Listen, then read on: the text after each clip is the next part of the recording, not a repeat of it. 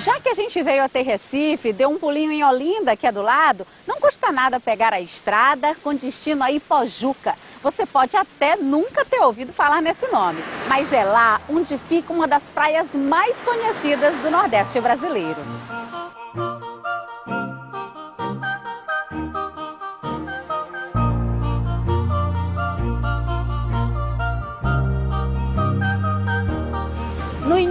A praia se chamava Porto Rico, porque a região era rica em pau-brasil.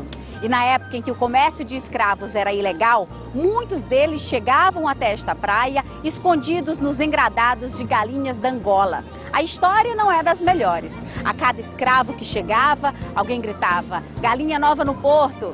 E foi assim que surgiu o nome Porto de Galinhas. E elas estão por toda parte do vilarejo, que fica a aproximadamente 60 quilômetros da capital, Recife. No orelhão tem a galinha metida a perua.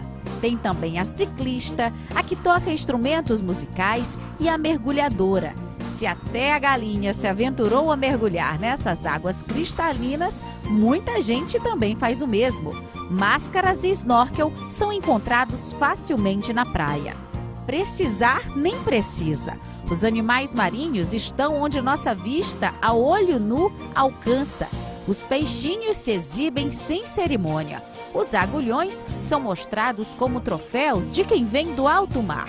E aqui, até os crustáceos minúsculos são motivo para diversão e deslumbramento em uma praia com turismo literalmente acessível.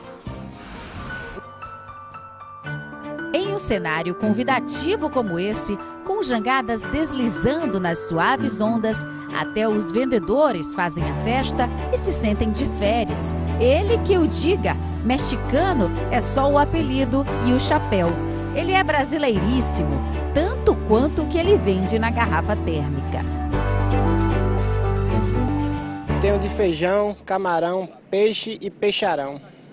Isso, isso não dá uma ingresia na barriga, não? Essa hora com sol quente? Só aqui eu tenho 9 anos. No total, eu tenho mais de 15 anos de experiência, graças a Deus. Estou aqui todos os dias. O senhor, mas não sabe de quem experimentou o caldo. Depois do caldo, a sobremesa com David, o homem que vende cocada e é o que fala mais rápido no Nordeste. Segundo ele, claro. Mas escuta só. Coragem passa em todo vecerano. Tem explicação que não paga. Para não paga, vai explicar, não paga. Vai não paga. Tem na segunda, na terceira, tudo primeira, tudo primeira, tudo bom. Lá de quadrado, dá para cada de cada cada cada. Bora para cocada de coco. Traduzindo, nesse emaranhado de palavras, ele falou dos sabores, sensações e até do estilo dos consumidores. Eita, que deu uma canseira só de ouvir. Melhor relaxar à beira do mar. Maravilhoso, é tranquilo, dá para vir com a bebê é, calor, é, água quente. É maravilhoso, é maravilhoso. Vem pra cá, essa é nossa, vem agora, agora. Vem pra Porto de Galinhas, vem, você vai gostar e se apaixonar.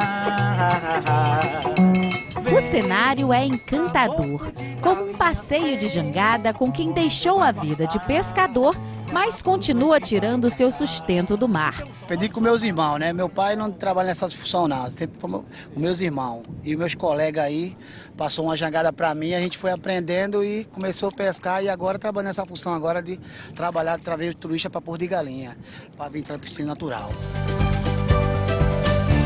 Ele também ajuda a fazer tudo parecer mais natural ainda, como segurar um ouriço nas mãos e não se assustar com seus inusitados movimentos.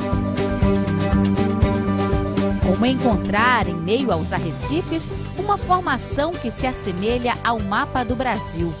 Natural como alimentar os peixes, como se fosse apenas mais uma tarefa do dia e mergulhar como eles, sentindo debaixo d'água que existe um mundo paralelo tão peculiar, mas tão igual ao nosso, cheio de vida e de mistérios. Dá até vontade de ser peixe e morar no fundo do mar.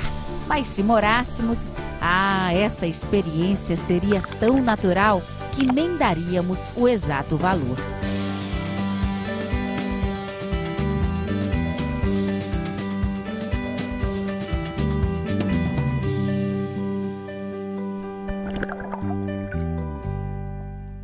Lindo, maravilha de lugar, maravilha de reportagem. Parabéns mais uma vez, Dani Rego e Adriano Pernambuco desbravando o Brasil no nosso Arena.